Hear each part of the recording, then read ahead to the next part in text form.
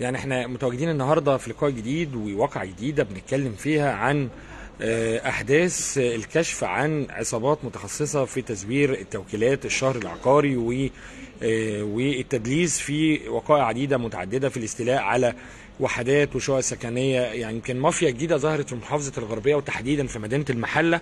إحنا بنتعرف فيها يعني عن الحكايات اللي حصلت. عاوزين نعرف يعني عرفنا بنفسك وقول لنا إيه اللي حصل معاك. محمد حسن محاسب على المعاش ومن المحل. تمام. إيه اللي حصل؟ والمحلة كلها عارفة بعضها وكده. اتفاجئت إن بشخص جايب لي توكيل معمول باسمي من أشخاص بالتصرف في قطعة عرض بالباب الشرق واقنعني ان أعمل له توكيل وان هو شاري فعلا. فعملت له التوكيل. بعد كده اتأكدت إن الناس دي كبيرة في السن والتوكيلات معمولة بره المحلة. والناس دي كبيرة وقاعدة في القاهرة وما حضرتش وما تعملش أي حاجة. تمام. ممكن كده أنا أتورط في حاجات كتير جدا. وأنا راجل كبير في السن واللي حصل. فتقدمت من نفسي كده أبلغ على الواقعة. علشان ما تحاسبش عليها قانونيا. تمام يعني انت فور اكتشافك إن في تلاعب بالتوكيلات الخاصة بيك واستخدامها في عمليات مشبوهة بالظبط. أو أو وقائع تزوير الاستيلاء على أراضي أو وحدات سكنية. بدأت تاخد إجراءات قانونية. آه بالظبط. عملت إيه بقى في القانونية؟ كتير قدمت ملف اسم أول آه. بس ما كانش مستوفي.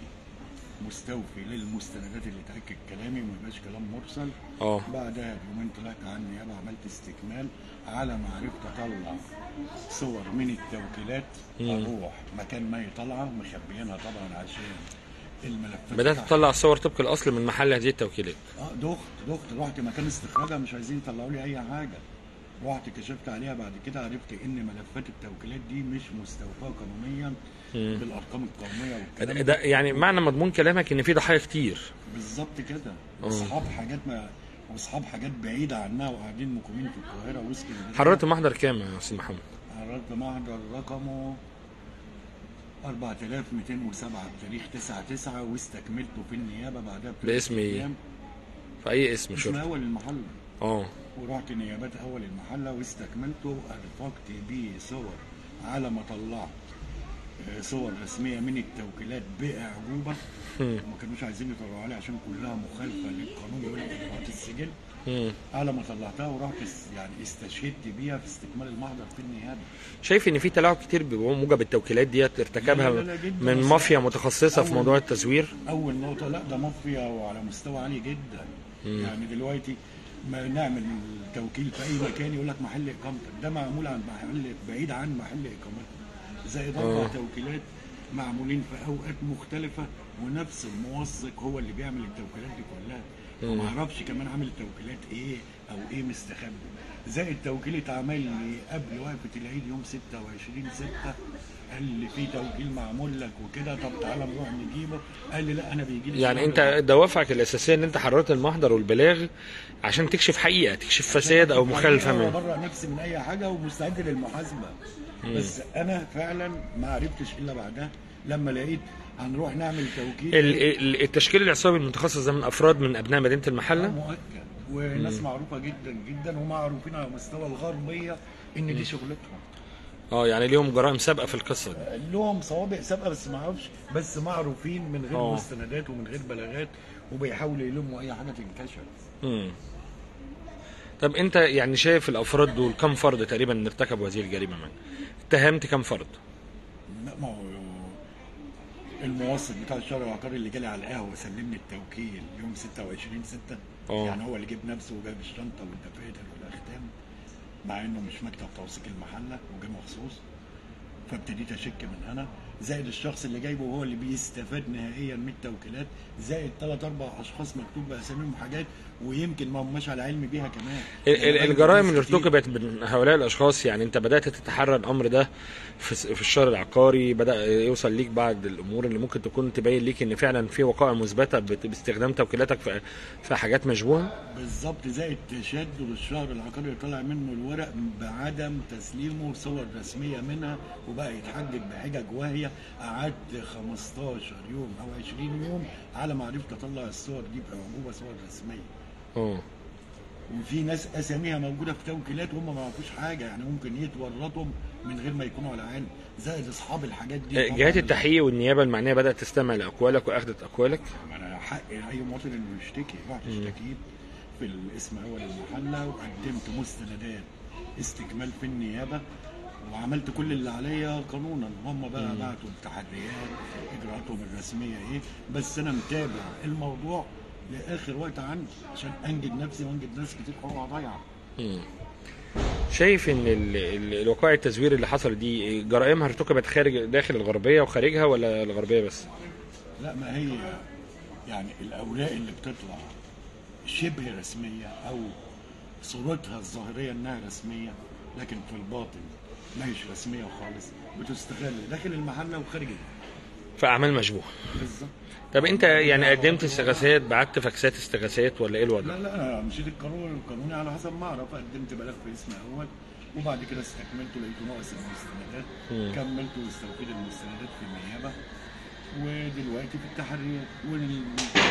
ولو يعني ما أعرفش هيبقى في تقاعس أو في إيه مش هسيب البلاغات دي خالص. ولو اوصل للنائب العام. تمام. يعني أنت بتناشد مين عشان حقك و النائب العام.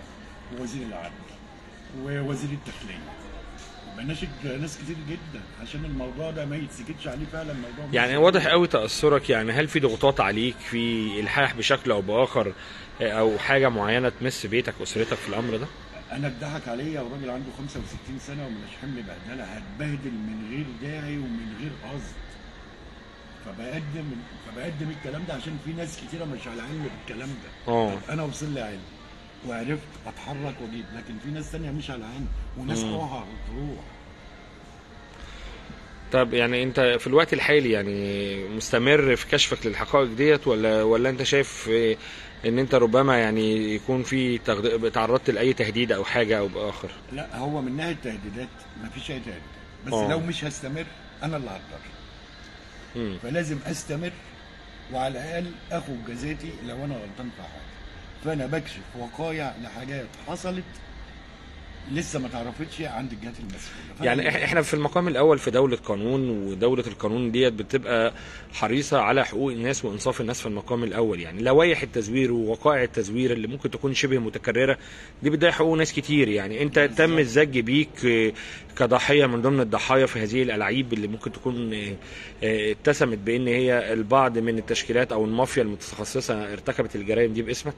أو بتحاول تنسبها ليك وتلصقها بيك بالظبط توكيلات قلت ظاهريا إنها مظبوطة مع انها آه. مش مظبوطه.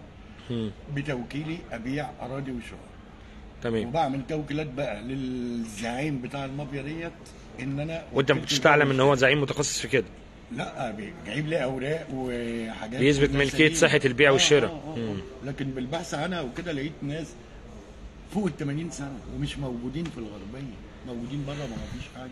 كل التوكيلات لناس كبار في السن. آه. زائد إن في بقى ناس تت- هتتحشر في النص عشان هو يطلع منها خالص. زي كده. في ناس كتير ما يعرفوش انهم محشورين في نص في توكيلات. تمام. يعني كل المتابعين إحنا رصدنا معاكم المأساة الحقيقية اللي بيتعرض لها أحد الأفراد وهي رب أسرة في العقد الستيني. ما زال يتعرض إلى وقائع آه، إلصاق بعض التهم وارتكاب جرائم غير مشروعة في تزوير آه، توكيلات. لبعض الأفراد اللي كونوا تشكيلا عصبيا تخصص في آه، بيع الوحدات السكنية والأراضي بشكل غير قانوني. شكرا لكم. بتاعه عشان خاطر ربنا ناس كتير مش عارف ناس كتير مسبوق باسمائها في توكيلات وفي حاجات وما يعرفوش عنها حاجة. مش هيتفاجئوا إلا بالقبض عليهم من غير ما يكون عندهم علم بحاجه والناس اللي راحت اللي هتروح حقوقهم دي كمان. تابعينا في كل مكان إحنا رصدنا معاكم يعني الوقائع ال- المتخصصة في في وقائع التدليس وتزوير في حق أحد المواطنين. وهنواصل معاكم كل رصد كل ما هو جديد شكرا لكل المتابعين.